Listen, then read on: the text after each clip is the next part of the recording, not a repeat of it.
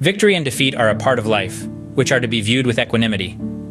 These profound words by Atal Bihari Vajpayee, a titan of Indian politics, encapsulate his unwavering spirit and his enduring legacy. Born on Christmas Day 1924 in Gwalior, Vajpayee's political journey began early.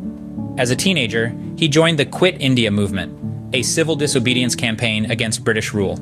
His affiliation with the Rashtriya Swayamsevak Sangh, a Hindu nationalist volunteer organization, also began during these formative years. In the year of India's independence, 1947, Vajpayee embarked on a new chapter in his political career. He was among the founding members of the Bharatiya Jana Sangh, BJS, serving as its president from 1968 to 1972. Following the BJS's merger with several other parties to form the Janata Party, which won the 1977 general election, Vajpayee became Minister of External Affairs under Prime Minister Morarji Desai's cabinet. However, his tenure was short-lived, ending in 1979 with the collapse of the Janata Alliance. The 1980s saw the rise of the Bharatiya Janata Party, BJP, with Vajpayee at the helm as its first president. A seasoned parliamentarian, Vajpayee served in the Indian parliament for over five decades, elected 10 times to the Lok Sabha and twice to the Rajya Sabha, his parliamentary career was marked by an unwavering commitment to the people of Lucknow, whom he represented until his retirement from active politics in 2009. Vajpayee's tenure as India's 10th Prime Minister was marked by highs and lows. His first term in 1996 lasted a mere 13 days. He returned to power in 1998, serving for 13 months, before finally securing a full term from 1999 to 2004.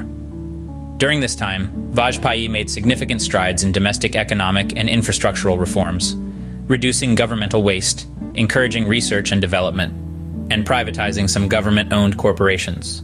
Under his leadership, India carried out the Pokhran-2 nuclear tests in 1998, marking a significant shift in the nation's nuclear policy.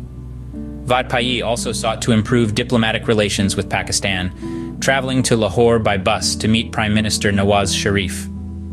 Despite the ensuing Kargil War in 1999, Vajpayee remained committed to peace, extending an invitation to Pakistan's President Pervez Musharraf for a summit in Agra.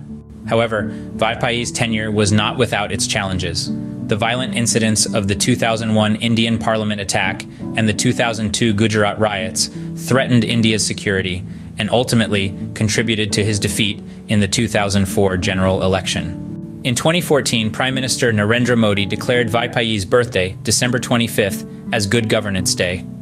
A year later, Vajpayee was conferred India's highest civilian honor, the Bharat Ratna, by President Pranab Mukherjee.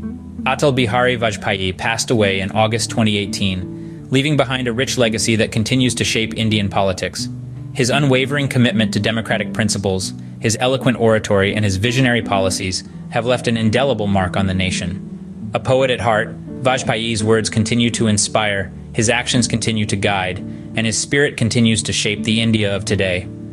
A titan of Indian politics, his legacy is one of resilience, vision, and an unwavering belief in the power of democracy.